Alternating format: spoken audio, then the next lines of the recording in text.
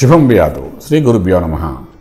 మన నక్షత్రాల గురించి మాట్లాడుకుంటున్నాం. మాట్లాడుకుంటున్న భాగంగా ఆల్మోస్ట్ ఇప్పటికి మఖా నక్షత్రం వరకు వచ్చాం. ఈ మఖా నక్షత్రానికి జరగబోయే ఇప్పుడు September October November December almost మనం మార్చి వరకు వేసుకున్నా సరే ఈ ఆరు నెలల కాలంలో కొంతవరకు వచ్చే మార్పులు ఏంటి ఫలితాలు ఏంటి అని అనుకుంటే బేసిక్గా అది సింహరాశి రాశ్యాధిపతి మనం చూసుకుంటే రవి. రవి ఇంట్లో ఈ మఖా నక్షత్రం వాళ్ళు ఉన్నారు. మఖా నక్షత్రం అనేసరికి మనకి అక్కడ కేతు అధిపతి. కేతు అన్న Ketu is nothing but shadow planet of Ravi అంటమాట సో మఖా నక్షత్రానికి ఒక మిత్రుడి ఇంట్లో ఉన్నట్టే లెక్క అది. అలాగే మఖా నక్షత్రం పుబ్బా నక్షత్రం ఉంది ఉత్తరా నక్షత్రం ఉంది ఈ మూడు నక్షత్రాలు కూడా అక్కడే ఉంటాయి. సో ఇక్కడ ఏమవుతుందంటే ధనుర్రాశిలో ఉన్న గురుడు యొక్క అనుగ్రహం అన్నది మఖా నక్షత్రం మీద ఉంది అంటే సింహరాశి మీద ఉంది. మనకు సంపూర్ణ అనుగ్రహం ఎప్పుడు కలుగుతోంది? ఎప్పుడైతే కేతు అన్నవాడు వృశ్చికంలోకి వస్తాడో అంటే సెప్టెంబర్లో వస్తాడు పదమూడు పద్నాలుగు తారీఖులో వస్తాడు ఆ వచ్చినప్పటి నుండి గురుడు ఒక్కడే అక్కడ ఉంటాడు ధనురాశిలో. అలా గురుడు ఒక్కడే అక్కడ ఉన్నప్పుడు ఏంటంటే అక్కడ నుండి వాడు పంచమ భావం సప్తమ భావం తొమ్మిదో భావం చూస్తాడు కాబట్టి తన సొంత ఇంట్లో ఉండి ఆ మూడు భావాలను చూస్తాడు కాబట్టి ఆ బలంతో వాడు చూస్తాడు గురుడు యొక్క శుభమైన దృష్టి పడుతుంది కాబట్టి శుభకార్యము మంచి ఫలితాలు ఇవ్వడానికి అవకాశం ఉంటుంది. అందులో భాగంగానే ఈ కేతు నక్షత్రం అయింది కాబట్టి కమ్యూనికేషన్ స్కిల్స్ అద్భుతంగా ఉండడం రవి ఇంట్లో ఉండడం ఈ రెండు మనకు ఇప్పుడు అడ్వాంటేజ్ గురువు యొక్క అనుగ్రహం కలగడం ఇది మూడో అడ్వాంటేజ్ అలాగే పెద్ద గ్రహమైనట్టు శని ఆరో ఇంట్లో స్వక్షేత్రం ఉండడం. అంటే మకా నక్షత్రం వాళ్ళకి ఏంటంటే గురుడు స్వక్షేత్రం అవుతాడు శని స్వక్షేత్రం ఉండడం అవుతుంది. కుజుడు మారుతూ ఉంటాడు అనుకోండి ఫైనల్గా రవి కూడా ప్రస్తుతానికి ఈ సెప్టెంబర్లోని సేమ్ సింహరాశిలోనే ఉంటాడు. ఉంటాడుగా రవి యొక్క అనుగ్రహం కూడా ఉంటుంది. సో ఇలా మనం చెప్పుకుని పోవటం ఏంటంటే మఖ నక్షత్రానికి మాత్రం గురు అనుగ్రహంతోనే ముందుకి ఈ యొక్క సంవత్సరం అంతా గడపడం అనేది జరుగుతుంది. సో గురు అనుగ్రహంతో ఉన్నప్పుడు అంటే ఏం జరుగుతుంది ఫలితం అంటే పంచమలో గురుడు ఉన్నాడు కాబట్టి సంతానానికి శుభ ఫలితాలు జరుగుతాయి.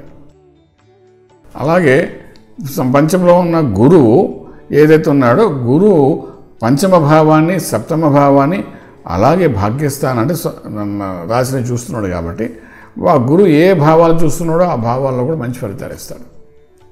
అక్కడ నుండి పంచమ భావం తీసుకునేసరికి మేషరాశి అయింది. ఆ మేషరాశి అయింది కాబట్టి ఈ మఖా నక్షత్రం వారికి డప్పుడే భాగ్యస్థానం అయింది. అది మేషం అనేసరికి భాగ్యం అంటే అదృష్టం కలిసి వస్తుంది. అలాగే సప్తమ భావం అంటే లాభస్థానం అయింది. పట్టుకుంటే ఏదైనా దానిలో ఒక ఫలితము ఒక యోగము తర్వాత ఒక స్పెసిఫిక్గా లాభదాయకమైన వ్యాపారం జరగడము. అంటే ఎలా చేసినా సరే లాభం వచ్చేటట్టుగా మనకు అనుగ్రహం కలగడము.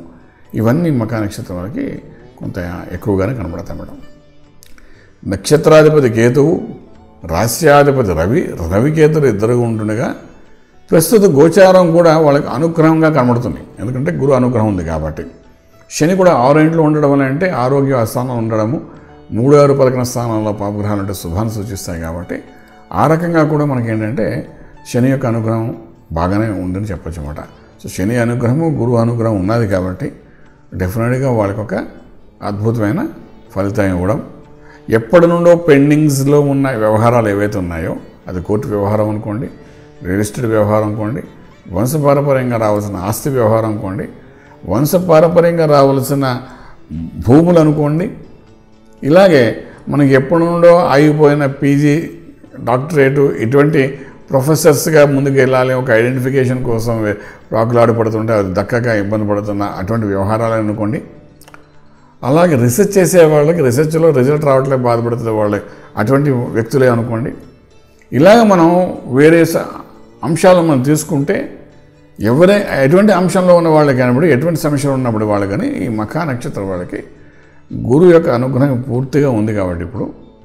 ఈ సెప్టెంబర్లో మొదలవుతుంది కాబట్టి ఫలితం కూడా ఎన్నాళ్ళ నుండో పెండింగ్ ఉన్నవన్నీ కూడా ఇప్పుడు ఓపెన్ అయ్యి ఒక అద్భుతమైన ఫలితాన్ని ఇవ్వడానికి అవకాశం ఉంటుంది అదొక రకంగా తీసుకున్నప్పుడు ఇంకొక పాయింట్ ఏంటంటే ఈ నక్షత్రాధిపతి కేతు అయ్యాడు కాబట్టి ఈ కేతు గతిష్టాన దేవుడు గణపతి అన్నాం కాబట్టి ఈ మఖా నక్షత్రం వాళ్ళు గణపతి యొక్క అనుగ్రహాన్ని కూడా పొందడానికి ప్రయత్నం చేయగలిగితే మార్గం సురువు అవడానికి అవకాశం ఉంటుంది.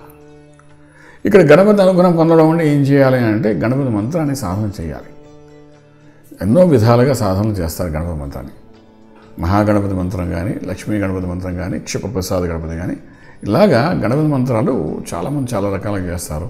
అందులో ఒక విధానం మీకు చెప్తాను మఖా నక్షత్రం వాడికి ఈ గరిక ఉంటుంది చూసారా?